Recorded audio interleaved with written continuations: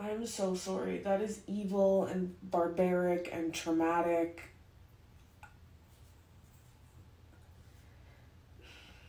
And I'm seeing so much of this in the comment section. And even the way healthcare practitioners talk about it, like if you're doing conscious sedation, your patient can still respond to commands like roll over, don't do that, or blah, blah, blah. And it's hard to tell how sedated or what their level of consciousness is.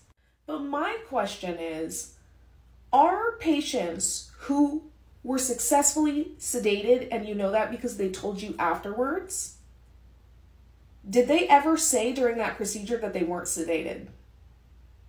Are patients who sedation are saying they're like, yeah, it worked, it was a great procedure, da, da, da, are they saying during the procedure when they're sedated, stop, don't, I can feel this, get away from me, cr- crying and screaming? I'm just confused because I feel like all you would have to do to figure out my level of consciousness in the situations I've been in is just to ask me, and I will tell you I am not fucking sedated right now.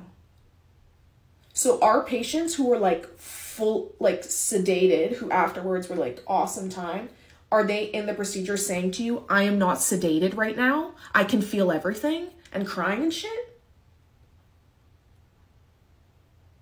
Because to me, it would be pretty fucking easy. like, mm. Like I get being like, ugh, ugh, ugh, that's one thing. But like, ah, you know?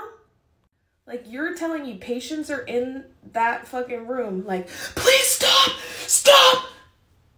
And then like 20 minutes later they wake up and they're like, oh yeah, that was great. I was fully asleep the whole time. I don't remember anything.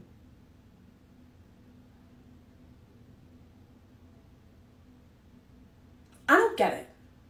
But clearly they're also desensitized to the shit because they do it every day. Like, if a toddler is getting a needle and they're freaking the fuck out, we know that getting a needle doesn't hurt.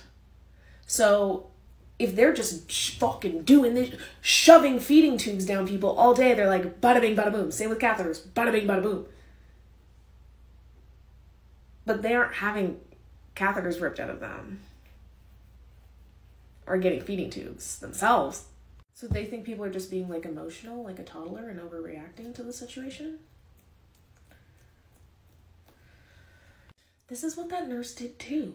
Because my fucking face, I was staring at her scrub band and the, the little fucking tie of her scrubs. And I was like, why the fuck am I looking at this right now?